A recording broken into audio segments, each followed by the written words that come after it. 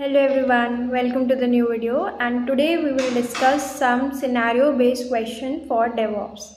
So first question is that how would you secure your APIs which is which are accessible to users which are exposed for public? So how will you uh, like secure them? What solution will you uh, be uh, implementing? So basically your answer should be like first of all authentication. Authentication can be done only through keys and mfa should be enabled. Okay only through keys and token to the apis second thing is authorization. Whoever person is able to log in log in uh, or uh, access the api should be given limited access according to their role role based access control should be their rbac then third thing is we should use https because https is secure and it is certificated. So it is it uh, like there is an extra security layer that is added. So we should always use https instead of http then CORS cross origin resource sharing. So we should define in policies which domain are allowed to access your api so unauthorized access is prevented if we use CORS cross origin resource sharing. Then logging and monitoring should be done. Encryption should be there because we should uh, encrypt the data um, at the all the sensitive data and we should implement the API gateway.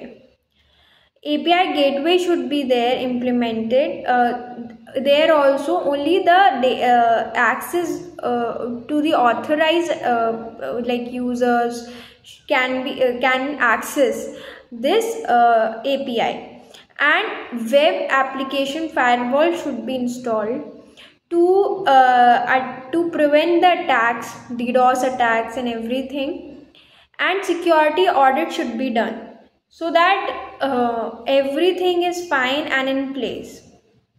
So this you can tell.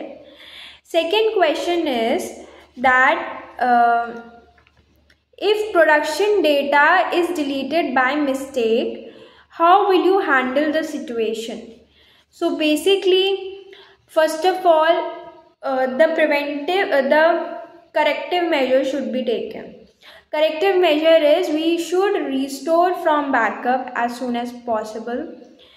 And we should check that which is is there any script which is triggering this data loss? Is there something else? We should identify the issue and should uh, prevent that is there should be not more data should be lost so the corrective measure is this.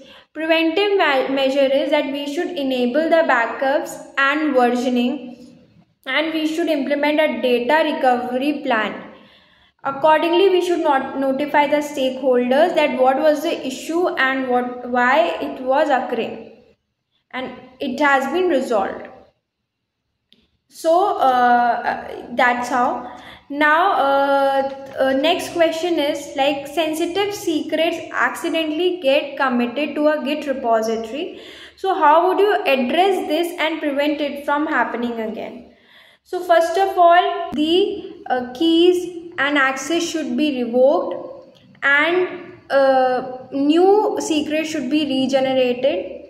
Then we should use git uh, repo cleaner. There is a tool or git filter hyphen branch. So this is a command we should use. So this helps in clearing the uh, removing the sensitive data from the git history from the entire git history. Then we should force push the clean git uh, uh, report like history uh, what so git push high origin hyphen hyphen force hyphen hyphen all Preventive measures are that always the sensitive data should be included in .gitignore file. We should use environment variables for sensitive data. We should use tools like AWS Secret Manager, Azure Key Vault or HashiCorp Vault for all this. We should use git commits, pre-commit hooks uh, so that people before committing uh, they cannot commit if certain limitations or certain uh, conditions are not fulfilled we have they cannot commit and we should enforce code reviews. Okay? The next question is uh, that requirement is to deploy an application across multiple cloud providers to improve availability. How would you design this uh, deployment. So first of all what cloud provider you have to choose? What regions will you choose? Because regions depend uh, cost increases cost basically depends on which region are you choosing. And then we should adopt the microservice architecture. We should use containers so that we don't have to depend like what uh, what are its dependencies? We don't have to check that we should use terraform or cloud formation for provisioning the um, you know uh, this uh, resources. We should uh, do load balancing which is global across clouds. So global load balancer should be used uh, to route the traffic across these uh, multiple clouds uh, and uh, like DNS load balancing like Route 53 and something like this and multi-cloud load balancer like Nginx, HA proxy. Data replication should be enabled uh, for multi-region databases like using Amazon Aurora databases and something uh, like uh, all uh, which are the where we can enable the replication then network design should be done where we can use vpc peering or vnet peering.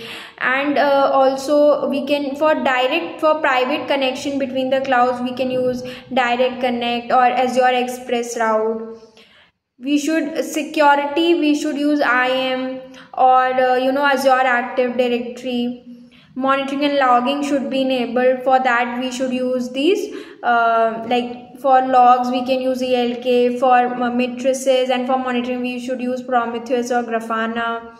Cost management should be done. So they we have uh, in aws we have these services for cost management to cost explorer billing and in azure also we have we can uh, do cost management. There are services so yeah this is how we should design and uh, like tell the solution next question is and the last question how will you do monitoring and logging if there are multi-cloud platform? What solution you will provide? There are datadog there are tools like datadog elk for logging logs prometheus and grafana for monitoring. And uh, so basically and for aws like in aws there is cloudwatch in azure there is azure monitor for google there is google cloud monitoring for gcp so we have to enable uh, uh, these things for uh, this uh, logging uh, collecting traces and matrices. And uh, there are like there are aws x-ray service. There are azure application insights which are basically used for monitoring of applications. There are google cloud trace and for logs we can see logs in azure uh, aws cloudwatch azure monitor.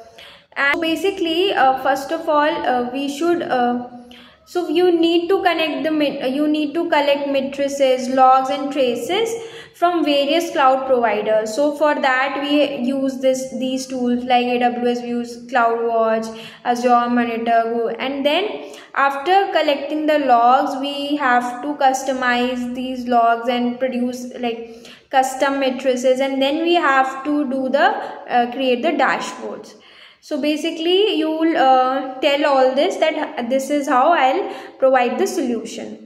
So i hope uh, i'll give all the questions in the description section and uh, i hope uh, everything is clear. So yeah that's all for today's video. Bye